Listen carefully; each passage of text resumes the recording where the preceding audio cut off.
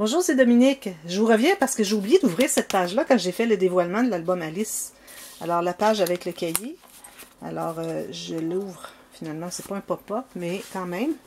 J'ai ici un petit euh, onglet rotatif et puis on ouvre comme ceci pour deux grandes photos. Je vais faire un journaling ici en haut. Excusez, je bouge, c'est moi qui tiens la caméra. Je ne suis pas aussi expérimentée qu'André. J'ai la difficulté à le remettre.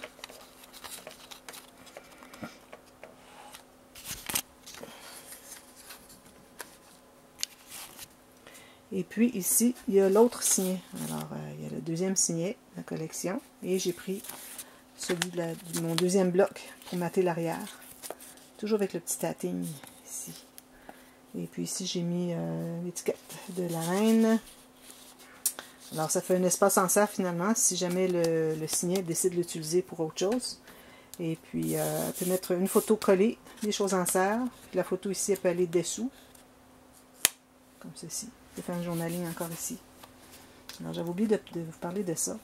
Puis aussi, j'avais oublié de mentionner que l'histoire, finalement, euh, la façon que j'ai traité les, euh, les, éléments, alors finalement, ça, correspond à l'histoire, le déroulement de l'histoire dans Alice au Pays des Merveilles. Alors, Alice, elle était dans la forêt avec sa sœur, elle lisait un livre, et puis sa sœur lisait un, un livre. Elle s'est endormie, puis là, c'est le rêve. Alors, elle est dans la forêt, on voit ici avec les arbres, et puis là, elle regarde autour, et puis ensuite, elle voit le lapin qui court, qui dit « je suis en retard, je suis en retard ».